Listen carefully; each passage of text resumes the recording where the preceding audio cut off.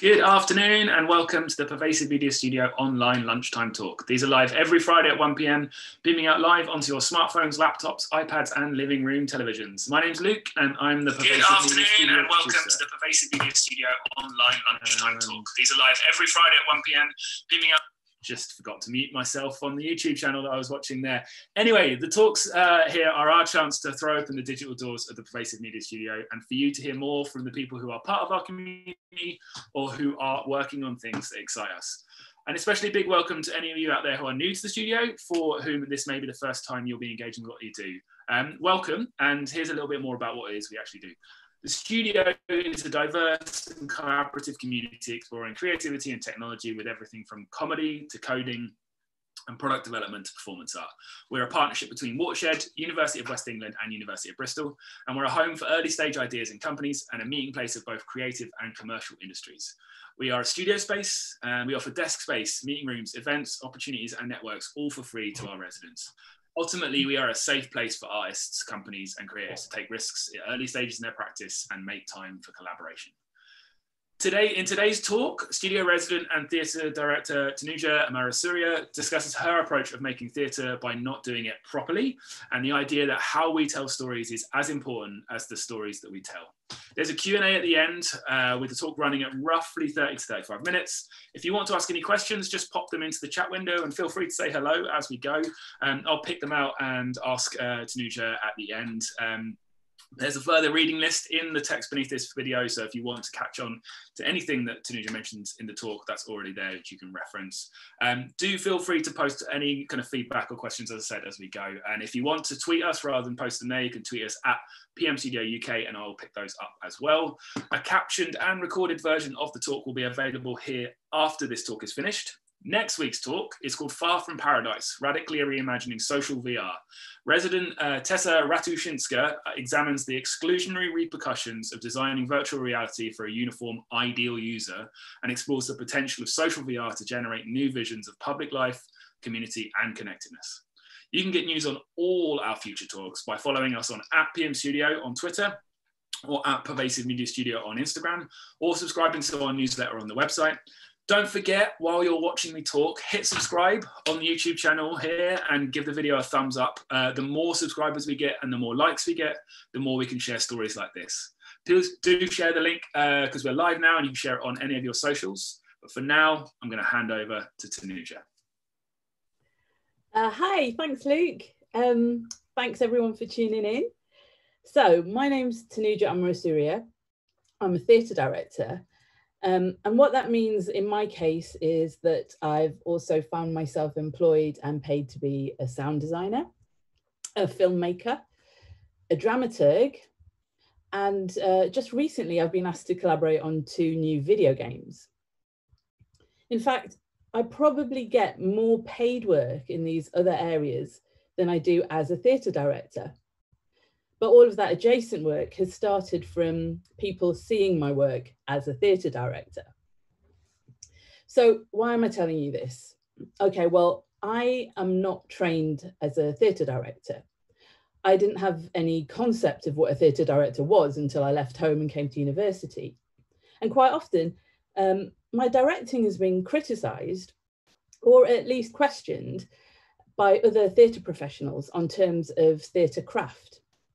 And they were right in that I don't know how to do things properly. My starting points for how to do this are all over the place. But at the same time, I was getting responses from audiences which were more along the lines of, I'm not really into theatre, but I really got into your show.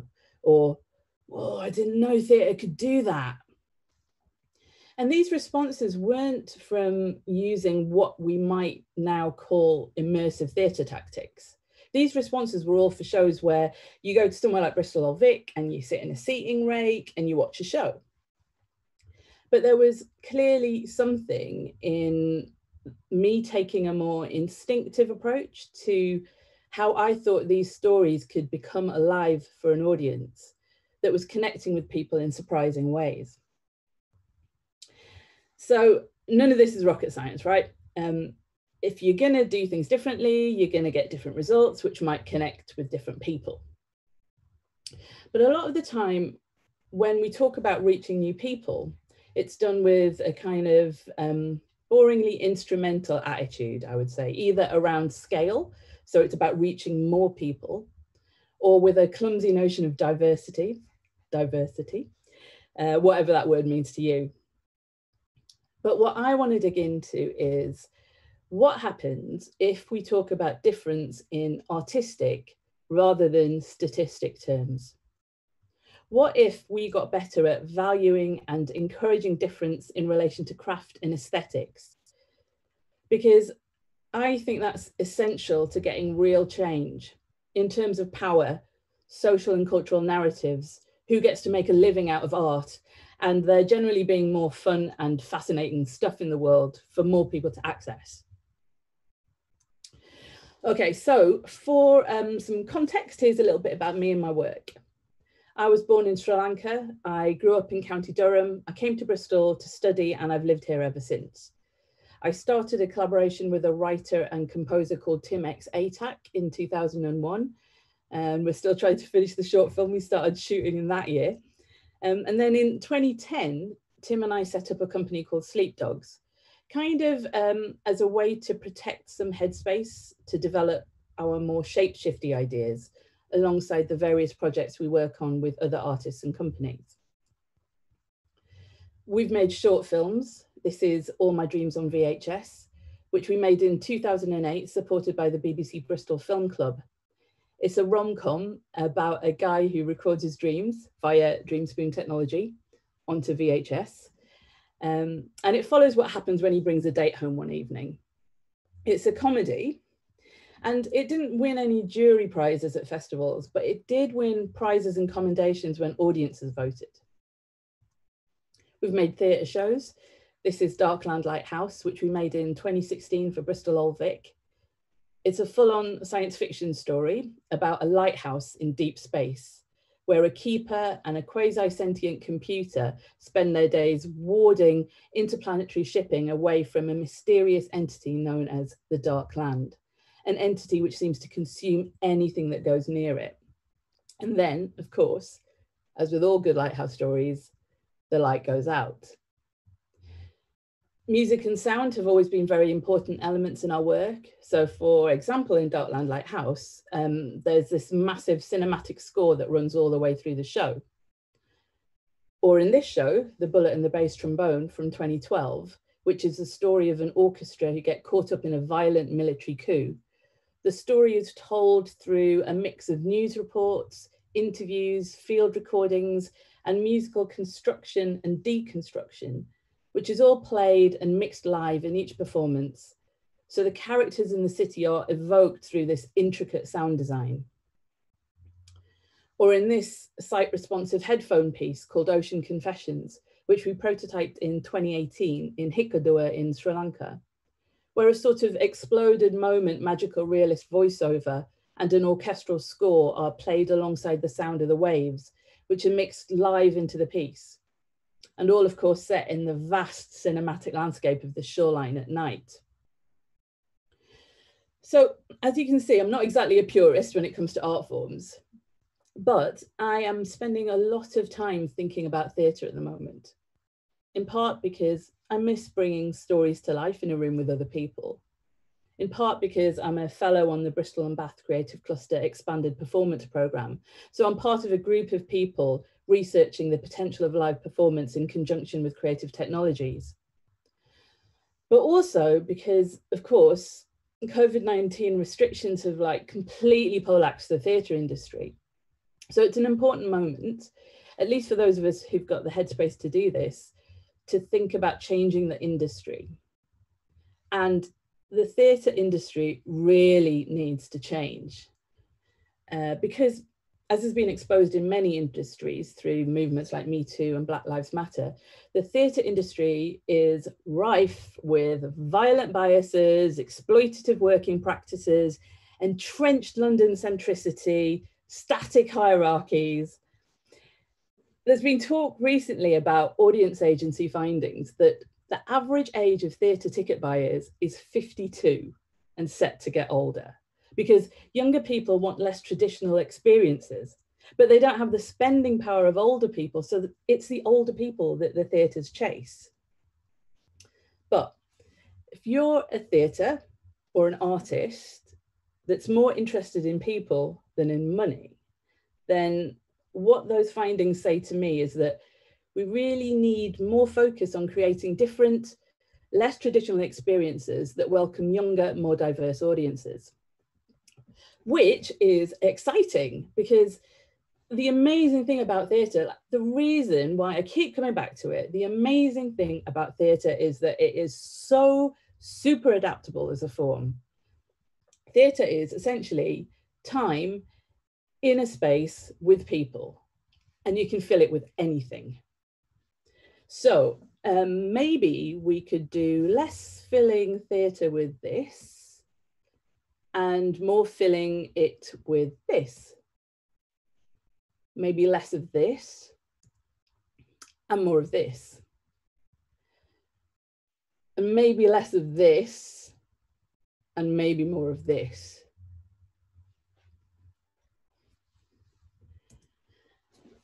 Okay, let's talk about taste. Take a moment and think about what experiences have really stopped you in your tracks. What sort of things have made you want to leap around?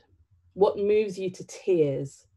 What forces you to stop and think? What super thrills you or fills you with joy? It's important to talk about taste because once we're confident with our own taste, what we're influenced by, what turns us off, what turns us on, how our tastes change, where it's different from other people's taste. Once we're confident with our own taste, that's when we can really start taking authorship of our own stories and invite people to engage with our work on its own terms. So when we were making Darkland Lighthouse, I wrote a series of blogs about the genre and aesthetic influences on the show. I knew I was making some unconventional choices in terms of theatre making, so perhaps defensively, I wanted to let people know that um, this was a show that was more influenced by Alien and Solaris than by Shakespeare or Les Mis. Um, and it's interesting, one of the articles talks specifically about theatre influences on the show, but when I look back on it for this talk, I realized that three out of the five examples I give would definitely more be considered digital installations than theatre. But they were really alive for me as environments they reached into me and they made me feel stuff. And that's very much how I think about theatre directing. So that's the honest truth of what theatre is for me. It's important to talk about taste because when something looks or sounds or feels mind blowing in some way, it's more likely to have an impact on you and make you feel involved with something bigger than yourself. Now, there's a lot of fear amongst commissioners and funders and programmers about talking openly about taste.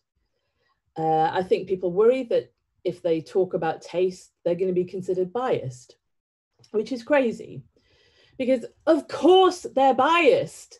We're all biased. It doesn't mean that we can't see beyond those subjectivities. But if we don't talk about them out loud, then we can't be challenged on them.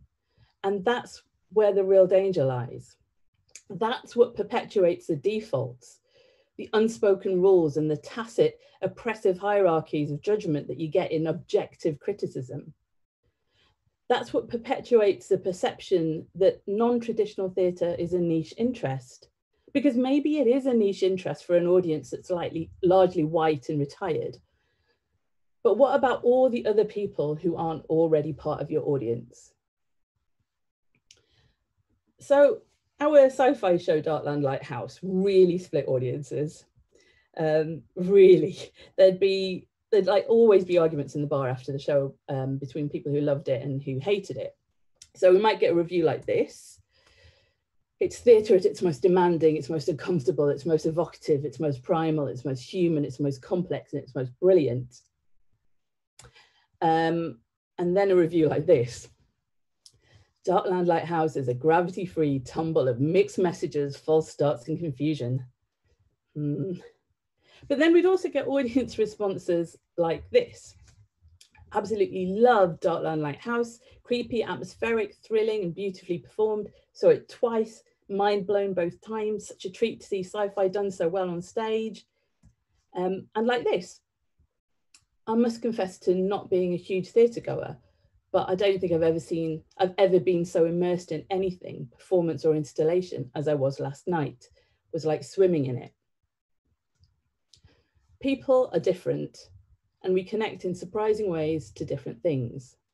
Be honest about how you want your art to feel and move towards that truth.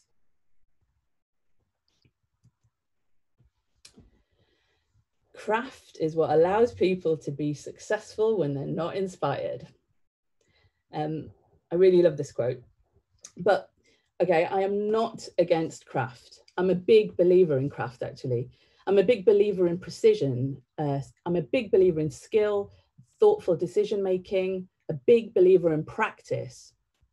I love it when people say my work is well crafted, which is probably why I feel the gut punch so hard when people say that it isn't. But uh, it's even worse when people say that it's not inspired. So I directed a play last year for Theatre 503 in London. Um, and in amongst pretty much exclusively strong reviews, which never happens for me, there was a pretty dour review from the Evening Standard, which included the line, Tanuja Amarasuriya's staging is pedestrian. But then I was like, you know what? I kind of agree. I mean, there were lots of practical limitations on that production, which meant that I had to make some very pragmatic decisions. And one of the things I decided early on was to set aside the more visual and live art instincts that I often use. There were artistic and conceptual reasons for that decision, as well as practical ones. But if I'm honest, I kind of gave into making what I've heard the theatre designer Chloe Lamford call a four star pleaser. Now, I'm really proud of this show. I loved the play. I was working with a brilliant creative team and cast. The production really moved people, and I wouldn't change any of my choices. But I definitely took a craft led rather than an inspiration led approach to directing this play. So, Theatre 503 is a tiny theatre above a pub. It's got very limited tech. During previews, whilst we were fine tuning stuff, I was moaning about um, how it was a shame that we couldn't rig side lighting. And Lisa Spirling, who's the wonderful, wonderful artistic director of Theatre 503, said, but side lighting just makes everything look like a dance show. And I was like, but I love that. In fact, we've occasionally turned up to theatres with a Sleepdogs show, and the tech team have gone, oh, we thought you were a dance company because of the lighting plan. Now, that's my taste. I generally prefer the more cinematic and sculptural way that dance shows are lit to the conventions of theatre lighting. I'm sometimes more interested in shadows, silhouettes, the architecture of the space than I am in seeing the face that's speaking. Maybe it's because I'm not properly theatre trained. Maybe it's because so much of my training has basically come through listening to DVD commentaries and interviews with film directors, because it's pretty rare to find info about how different theatre directors work. There's loads of interviews and podcasts with playwrights, barely anything about other roles in theatre.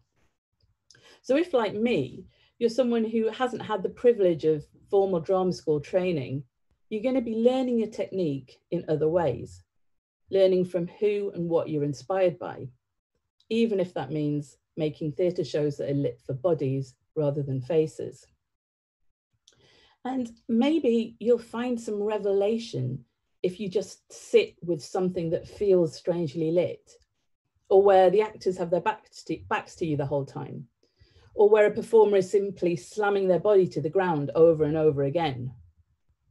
There are so many different ways that we take in information and make meaning we don't just make meaning from specifics like narrative, character, location.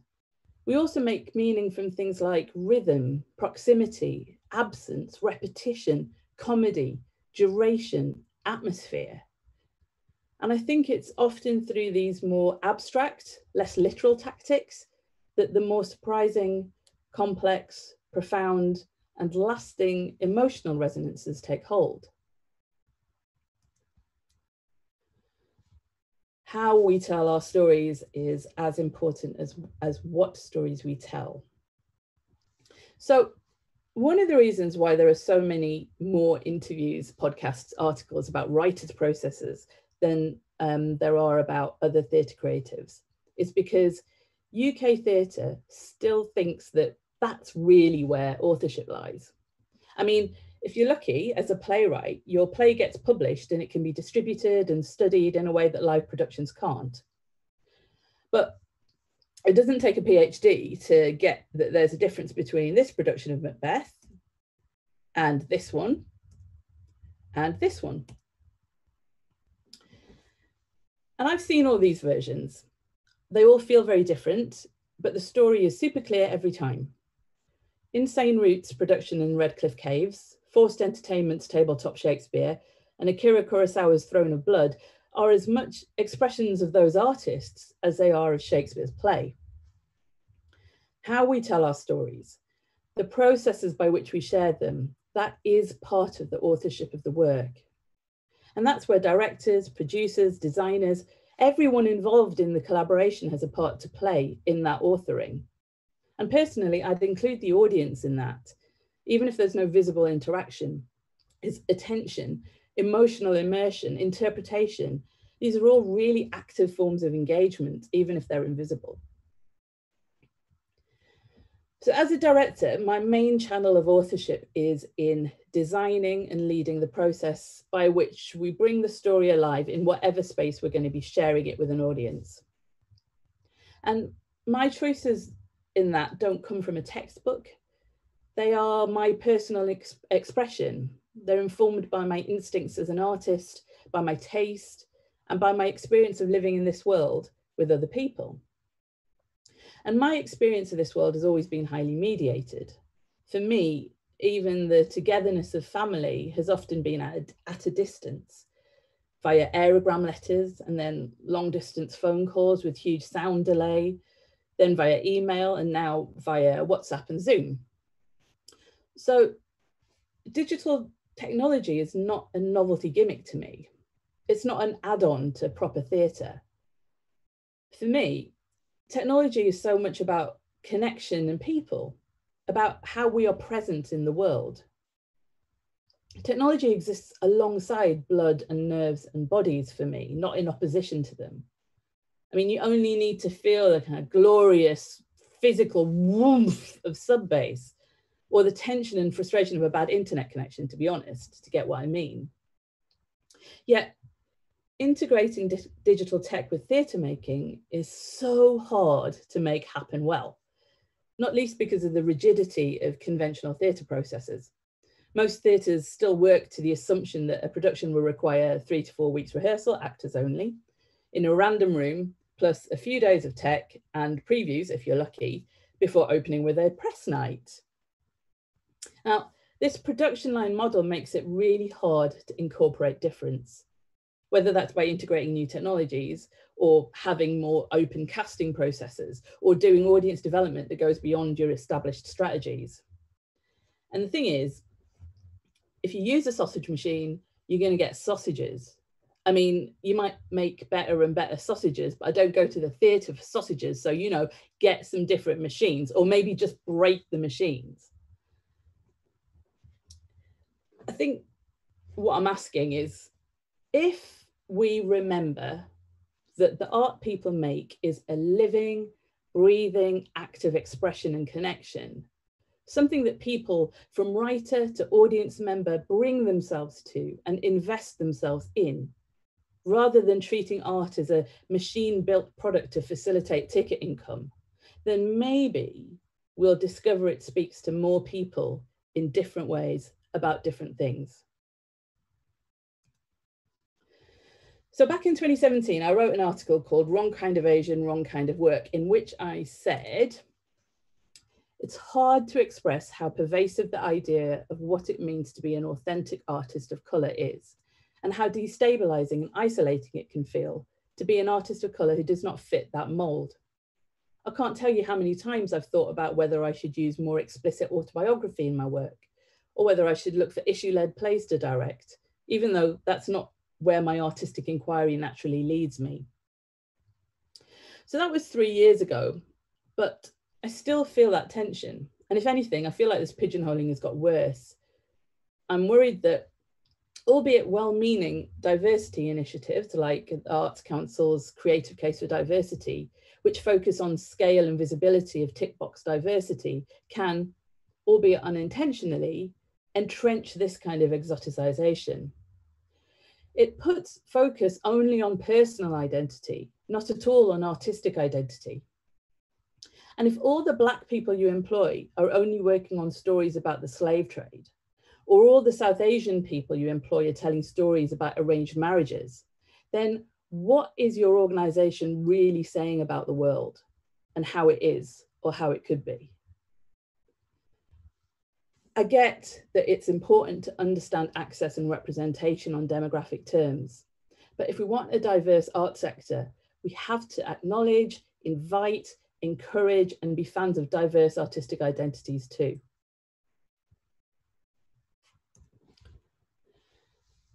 So one of the reasons I'm interested in using technology as an artist is that conventions around how we use those technologies aren't so entrenched. I'm not boxed in so hard to the stories that I'm expected to tell.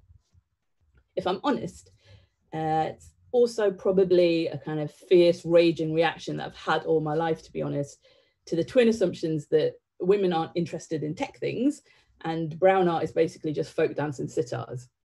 And, you know, Return of the Jedi was the first film I saw at the cinema and I always wanted a lightsaber. And one of the things I really enjoy about digital tech is that it rewards play rather than training.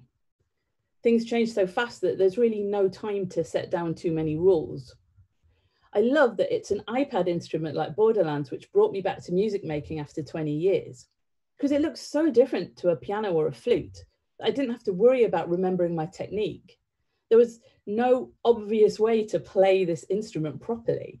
So I just played. And the music I make with Borderlands would be impossible for me to even dream of making on a piano or a flute. In my first few weeks of music GCSE, my teacher marked down one of my compositions for its reliance on what music theory calls perfect fourths and fifths.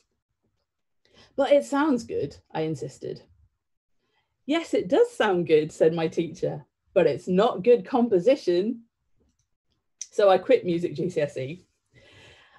I, I just couldn't buy into the notion that the theory of music was more important than the experience of music. Now that was 30 years ago. So I hope music GCSE has changed since then. But that insistence on the establishment terms of what makes good theatre is still very present and regularly inscribed by gatekeepers and critics. For an art form that trades on the magic of liveness, this industry has such a deep, deep fear of unpredictability. I remember hearing from Improbable, who are one of the UK's most long established independent theatre companies, how they'd been told that they'd never be trusted to run a building because their processes were too unpredictable. And this is a company whose operas are some of the most successful that the ENO has ever produced.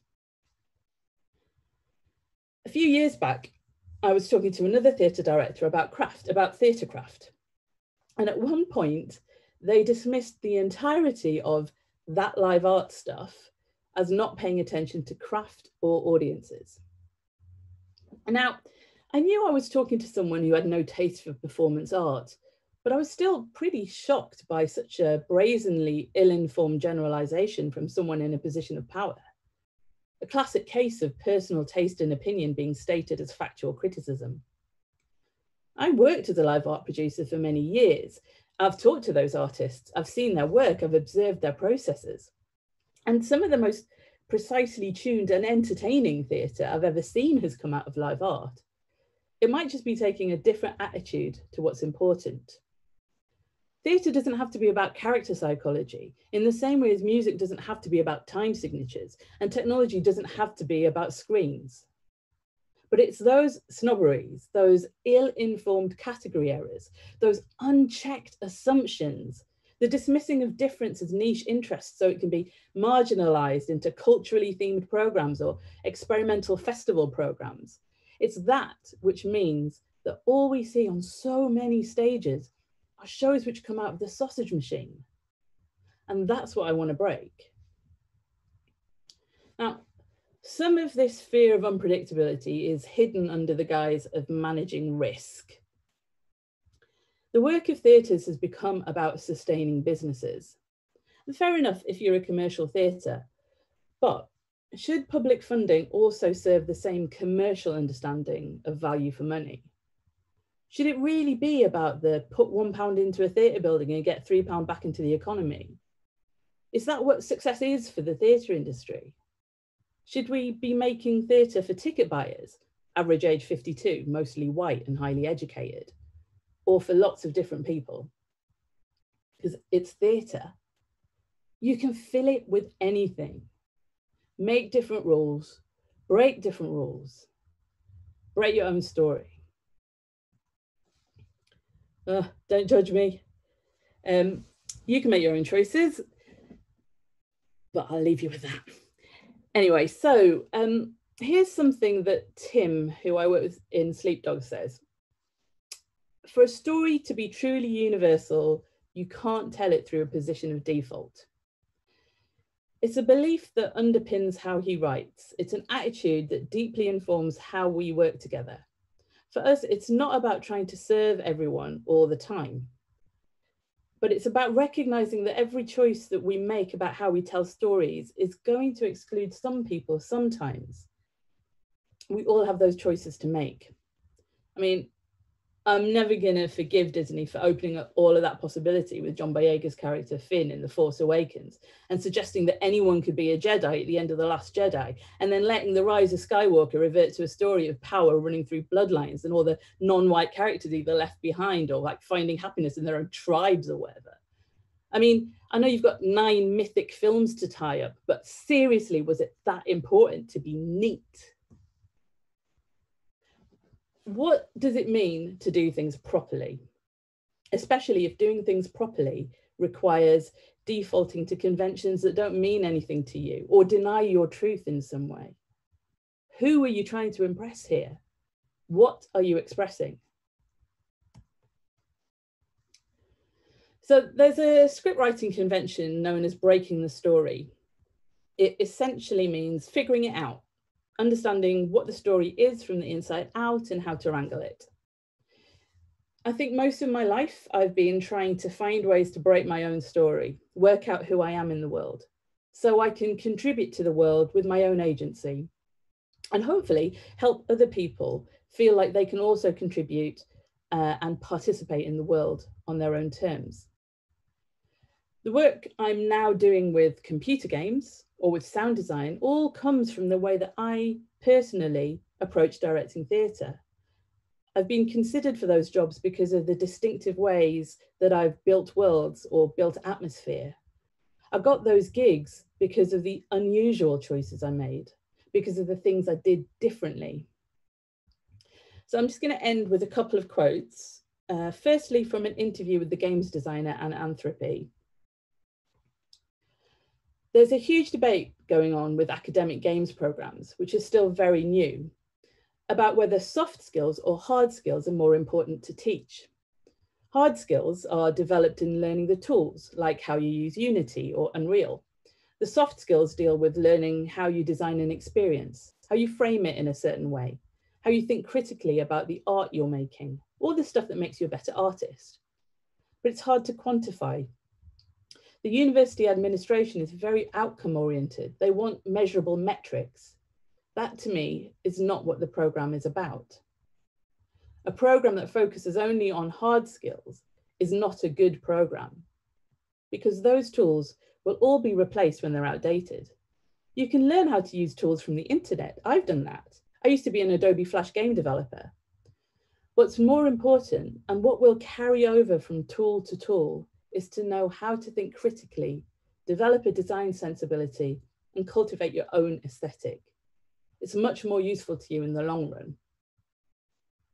And finally, from Ursula Le Guin, all of us have to learn how to invent our lives, make them up, imagine them. We need to be taught these skills. We need guides to show us how. Without them, our lives get made up for us by other people. Thanks for listening. Tanuja, I mean, I don't really know where to begin. That was amazing. Thank you. I feel like we should probably just have a moment of silence to let take everything in. but that always looks weird on video calls when there's no there's no audio. Um, there are some questions kicking off. So if anyone is watching and wants to ask a question of Tanuja, please drop them in the chat or tweet us at PM Studio UK We've got about 20 minutes for the Q&A, so we'll pack as many of them in as we can. Um, bit of applause kicking off in the chat there for you as well, Tanuja, lots of really lovely feedback as we went. Um, Claire Doherty is the first person to kick us off a question. She says, where are the glimpses of change you want to see in enabling more progressive, more groundbreaking, groundbreaking work, and who's getting it right? oh my God. Well, I mean, I think I think it's all there. It's all happening in the sense that um, I always think about the Rebecca Solnit book, Hope in the Dark, and that kind of notion that really all of this stuff is happening at the margins. This isn't, this isn't, um, this isn't kind of new and sudden thinking. Um, so I think all those examples are happening in different ways at the edges of all these different industries. Um, and I think there's something interesting about, like, in terms of the theatre industry, there is there is a lot of kind of entrenching going on in terms of you know like let's just get some let's get Ralph Fiennes to do a monologue about David Hare's experience of coronavirus. But there's also an absolute need for theatres to rethink their business models and you are getting theatres sort of saying that explicitly because it's just become vital. And um and I think the kind of forcing of that the sort of like the like the massive disruption of that is is going to make change. And I think, you know, change makes, there are positives and uh, there well, basically there are unpredictable outcomes that come from trying new things and doing things differently. And there'll be positive and negative things um, that come out of that. Who is getting it right? I mean, I always think at that, and I would say this, but I do always think kind of look to the edges, look to the uh, look to the artists, look to the independents, um, partly because I think it, you know, in some ways it is, it's easier to take some of those risks and do that invention.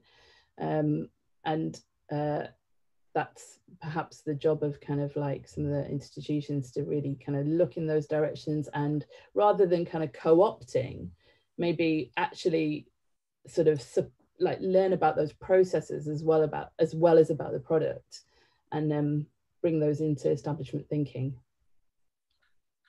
Right. Uh, Duncan Speakman asks, "Are you? A, do you have a secret flute playing history that we don't know about?" I do. Yeah. Well, I I can't believe you didn't know this, Duncan.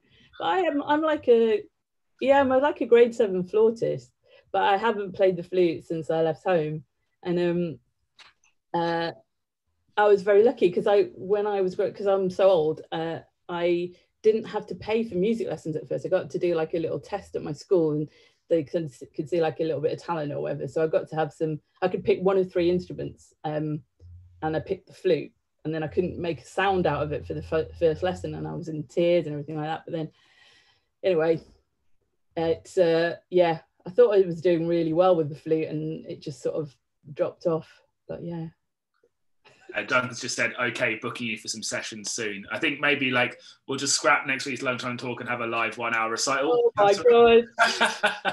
I did think there's this. I guess uh, you know I I've picked it up again uh, every now and then, and I've completely forgotten how to read music, but I have got like a body memory, so I can look at a piece of like you know like a Bach study or something, and my my fingers will remember how to play it, even though I can't. There's no like sort of conscious active translation there. So I don't know what that says about kind of like embodied learning, but anyway. So on top of the deep insights into creative practice and breaking all the rules, we've just learned something that a lot of us did not know about Tanuja. um, another question from the chat. Is there a particular moment, staging, scene, etc., that you feel was partic- particularly mold breaking or that represents this issue and kind of backlash well?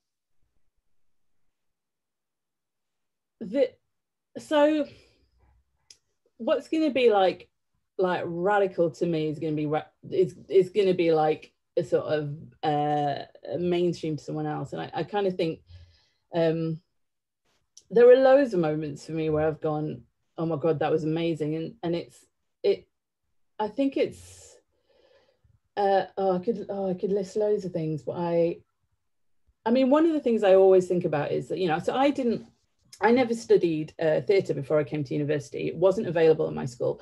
I uh, would occasionally get to see RSC productions at what was Newcastle Playhouse at the time, because the RSC would tour up there. Um, but it was always within an English literature context. I just literally saw Shakespeare um, and some classics. And then I came to university and I came and studied theatre and film because, again, at the time, I didn't have to pay university fees. My careers teacher told me to follow my curiosity. She said, after university, you're going to have to get a job and you'll have responsibilities. This is the last time you get to follow your curiosity. So that's what I did. And it changed my life. Um, and um, and in the first like two months, in the October, I think it was October and November of my first term, I saw Forced Entertainment Speak Bitterness and I'd never seen anything like that. I'd never seen any direct address really, you know, that wasn't like, you know, an aside. Um, so, and it completely blew my mind. And I, you know, I've gotten, I had no academic education in theatre then. This wasn't like I needed to, I, was, I was kind of understanding something sort of cerebral or complex, which is one of the reasons why it does my head in when people say experimental theatre is um, somehow inaccessible. It's like, no, no, no, no, no, no, not necessarily um, and it absolutely connected with me and it, it, it just blew my mind as to what what was possible in the space. So i guess that's one thing i can clearly point to do you this is this i'm, I'm going to chuck in a question like i'm just going to use my, my, the fact that i'm hosting but do you think uh, we've got a couple more questions in the chat but please do keep them coming if you are if you're watching. Um, and again reminder you can tweet us at pm studio uk if you're not in the chat and you want to ask Tanuja a question. We've got about 15 minutes left um, and plenty more to pack into that.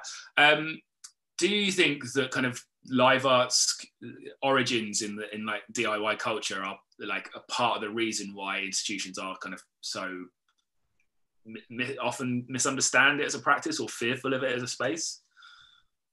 Yeah i think so. And i think there's a kind of to and fro there you know because there's also I, I used to um, work in the live art programming and producing team at Arnolfini uh, back when it was you know had a, like a really um, consistent and regular program.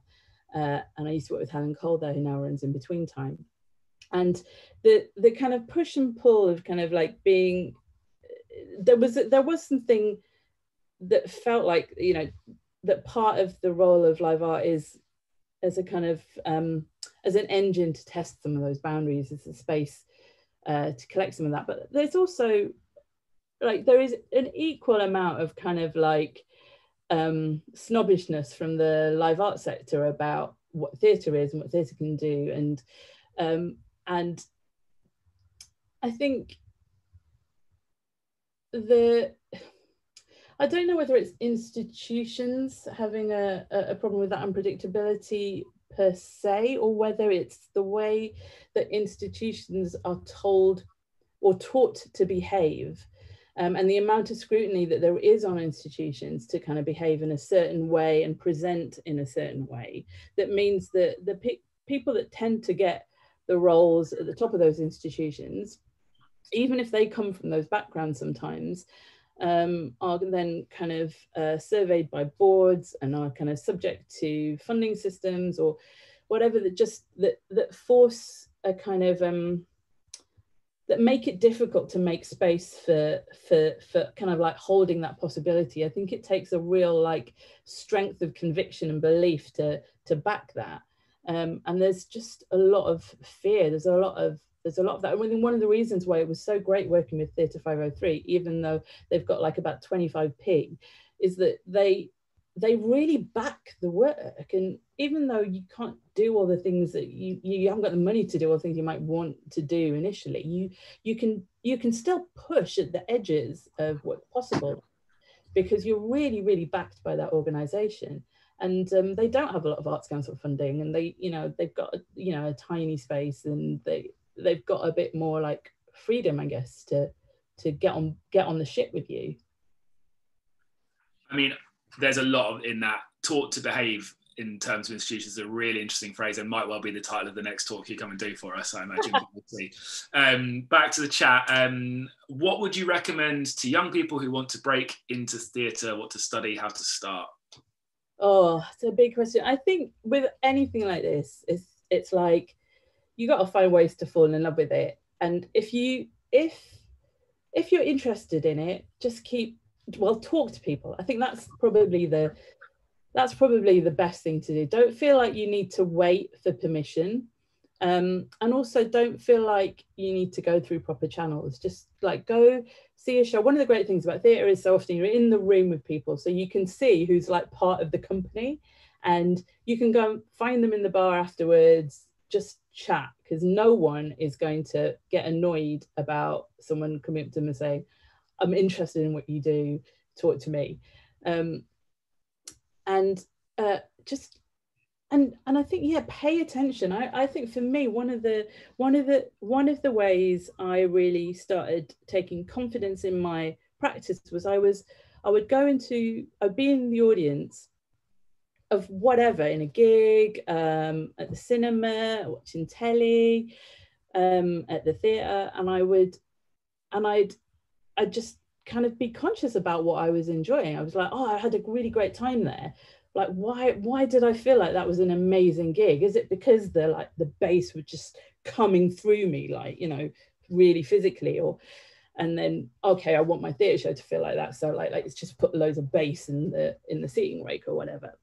So that thing of just opening yourself up to what it feels like, knowing what you love, like on the inside there, and then kind of I mean, I'm a geek for process, so I I do like I love watching DVD commentaries and like listening to, you know, kind of technical podcasts and stuff like that. And um, not everyone's into that kind of thing, but um, start with what inspires you. I think is the thing, and don't let anyone don't let anyone say it's don't do it like that. Us just just don't let them do that. Keep going. Find someone else. Find different allies mean, that was a pretty resounding answer. Um, uh, Matthew Austin uh, asks, what role do you think the people training in inverted commas uh, emerging artists have to play in change, e.g., higher education institutions teaching performance of theatre? How could they be doing things differently? Yeah. You're getting some big questions here, Tanuj. yeah, I mean, yeah, I rule the world. Well, I mean, you know, I could like it, like I said in the talk and also like that's coming through in the in my responses to the questions i think. There's so much in um, the fact that i had uh, access to some of those bits of learning without having to worry about paying for them that was really um, that gave me opportunities that meant that i didn't have to think about them in a kind of like uh, well you know in, in a commodified way so I wasn't looking for if I invest in this, am I going to get a job in the end of it? It was like actually thinking in a slightly different way. And so I think letting people um letting people um find their own way through things. And I think also with art, there's a there's there is a real like um push towards the sort of instrumentalism that I'm very resistant to because I kind of think that art is a more soulful place for for complex feelings rather than statements. That's not really what I'm into. And so I think those things can be hard to to talk about quickly and hard to assess. Um, and we're in a very like hugely assessment driven culture, which is absolute anathema, I think, to that kind of um, that kind of sort of uh, uh like sort of spiritual development, like kind of the maturity of like being a person in the world. And I think there is something there's something in that um, in terms of like how do you how do you make space for that in an assessment driven world and just let it be let people play? And in terms of kind of our the sort of um, kind of the beginnings of professional training i hate the term emergent artist. I hate it. I hate it. I hate it. Um, that it's like everyone you know if you're an artist you, you're kind of developing you, you're following your curiosity and you're developing your ideas all, all the time. And the idea of emergence it sort of suggests to be honest a sausage machine to me and the idea that there's a linear progression. And i think there's a real i see it in a lot of um, uh, artist development uh, schemes where there's this notion of a kind of a ladder of progression. Um, there's an idea that the institution or the venue or the producer should have the answers. Um, when actually it's perhaps more about kind of just like holding some space for for different kinds of exploration. And, and actually like the producers going oh do you know what?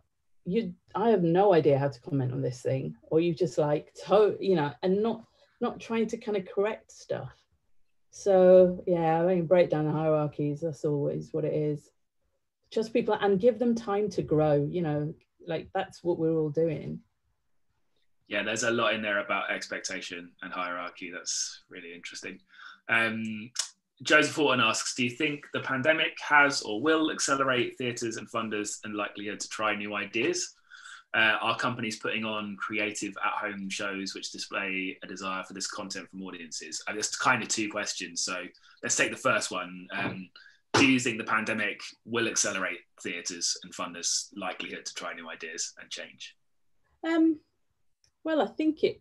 I think it will for some people. I think it. I think there'll be some people that take it as uh, that will take it as a, an absolute um, uh, push to, to to kind of to to address some of the the sort of like um or to clear out some of the dead wood in their thinking i guess i think there'll be those people that do that but it's also really evident that there are those who will use it as um um as an opportunity to kind of say, well, no, that does mean actually we just need to get famous people doing existing plays um, and uh, charge, you know, 50 quid a ticket for them.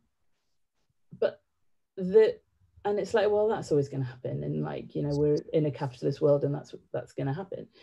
Um, but I think, particularly for the theatre industry, because it has been so completely um, devastated really by that um, and what I, I, there are, it, it's exciting to me to hear like Bristol Vic say explicitly, we do need to look at our business model. That's not something, it's an unusual thing to hear, like um, an institution sort of admit that. And that feels really exciting because it's suddenly like, well, great, because we're all creative people.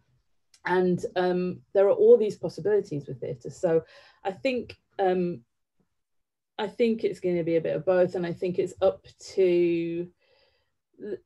There's so much of it that's linked to that thing about kind of taught behavior. Um, that's like we we need to really like uh, understand our own terms of success, rather than looking for validation and affirmation necessarily from other people that have their own terms of success. And so, you know, if um, if you can if your idea for what makes a show successful is whether it um that horrible phrase washes its face in terms of its budget then you're going to make different decisions to well if you're going to like i want to make show that maybe 10 years down the line is going to like have a franchise that looks like this so I, I think it's the same problem but there's just because the circumstances have changed, I think some people will will it'll it'll open up some opportunities for some people, which is exciting.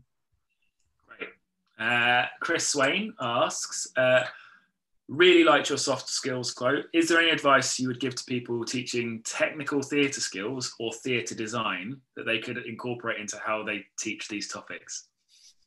Oh, well, I think it's all the same thing, and also I'm like, um, the idea of being able to learn technical skills and design skills from someone like Chris feels very exciting because like I you know he's a generous human being and and I think that thing of just kind of respecting people um, and it not being about a kind of top down authoritarian uh, position that it's not like a kind of stat sort of like strict pedagogy um, and I think you know practitioners if they're if they're actually practicing and constantly discovering and sort of realizing all the stuff that that they don't already know all the time because they're constantly making new work. I think that's that's a brilliant way to um, to help people find their own kind of processes for discovery because I think that is what like being an artist is so much about.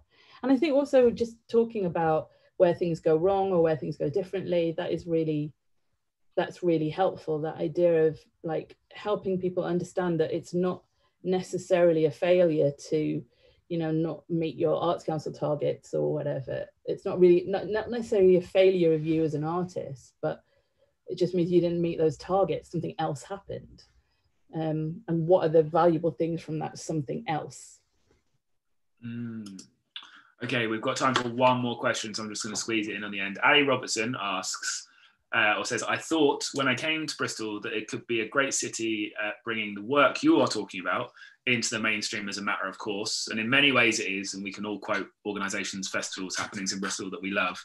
But do you think it is that city now? And are there other UK cities getting it right?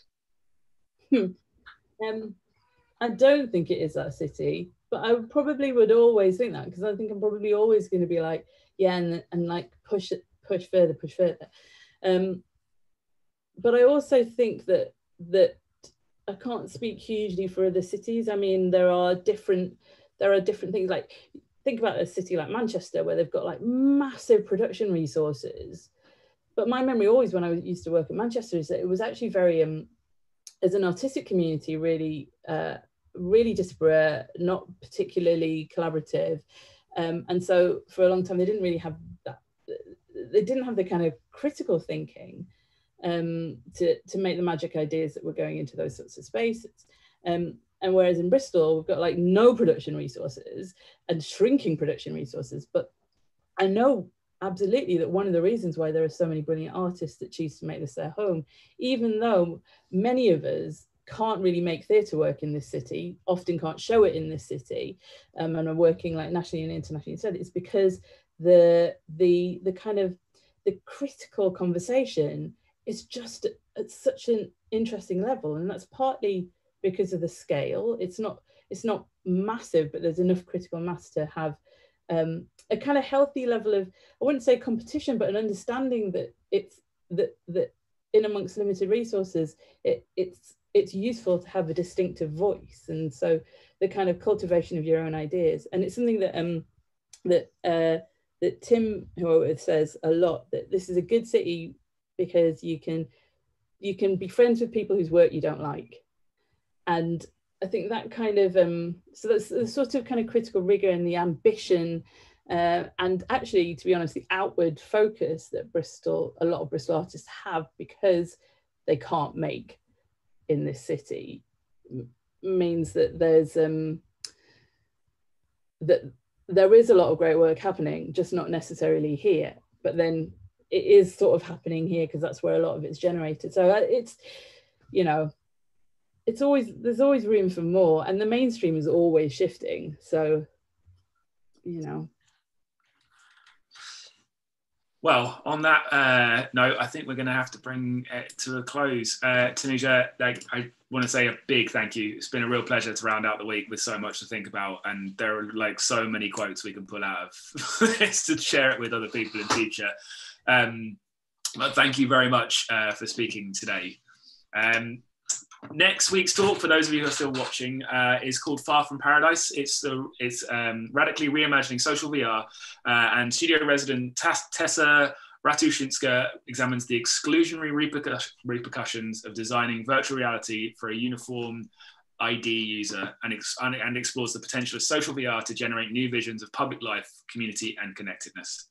You can get news on all our future talks by following us on at PM Studio UK on Twitter or at Pervasive Media Studio on Instagram or subscribing to our newsletter on our website. Before you go, please do hit subscribe below and give the video a thumbs up. The more subscribers we get and the more likes we get, the more stories we can share like this. A captioned and recorded version of the talk will be available shortly after we finish today. So share that link and tell your friends. Um, I want to thank you very much for joining us uh, on this Friday afternoon, and we'll see you all same time, same place next week.